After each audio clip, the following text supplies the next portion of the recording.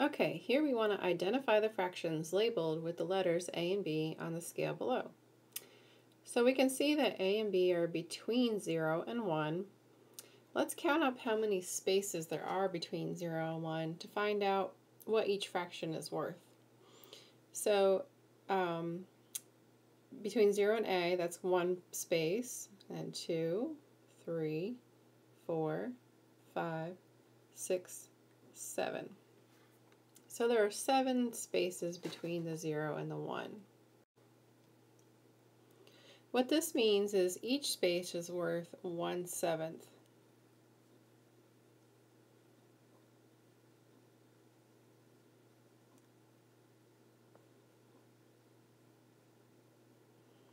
All right, that means as we go from um, 0 to A, that we've gone one seventh of the way.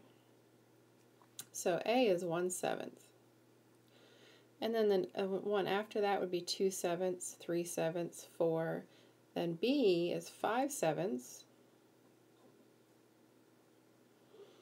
And then one after B is 6 sevenths. And then when we get to 1, that's 7 over 7, which we all know if you have 7 parts out of 7, you have a whole.